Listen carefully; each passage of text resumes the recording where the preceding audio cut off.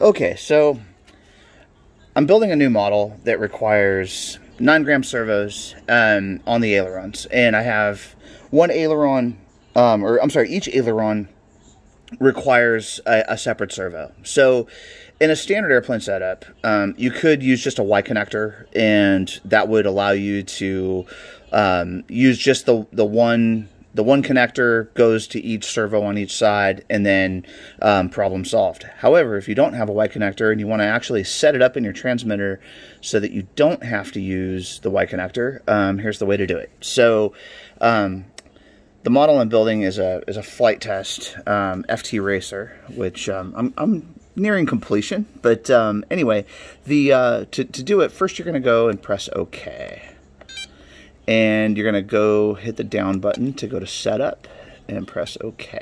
And then uh, from there, you're to go down until you find the function called mixes. So um, in mixes, the um, the first thing you're going to want to do is press OK, and uh, you're going to say you're going to turn it on. So you can use up or down to turn it on.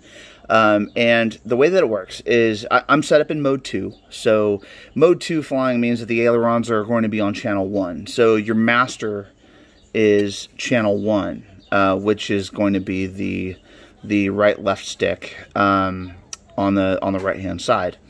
And then um, I whatever servo you actually want to slave or, or have the other servo work on that same channel, um, you can plug it into um, uh, either, well, in this case, it would be 5, 6, 7, 8, 9, or 10 on a 10 channel radio, or if, if you're using a 6 channel, then you would put it on either 5 or 6. And in this case, um, so I'm, I put it into 6, so um, so under uh, slave mode, I've put, I, you can adjust that to uh, whatever channel you want uh, by pressing up or down. Um, I'm using channel 6. And then under positive and negative mixes, I put them to 100. That way, um, you're getting 100% um, on positive and negative on both sides.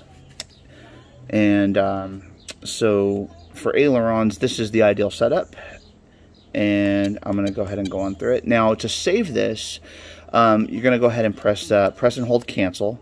You'll hear it beep. And then I can go ahead and cancel on out of here and cancel on out of here. All right. So now that that's set up, um, I'll move the radio out of the way here. And here's what it looks like. So um, I have a battery connected to the receiver um, on the uh, B slash VCC. Um, channel 1 is your master, which is here, and then channel 6 is the slave, which I have set up here, and then a couple of uh, 9 gram servos, which I'm going to install into my wings. And by pressing the right and left,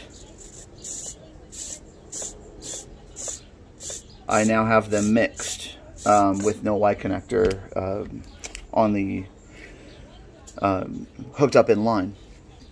So there, um, there's other settings that you can do based on how your servos are set up. Um, they may be perfect in the current uh, condition, or you may end up having to reverse them.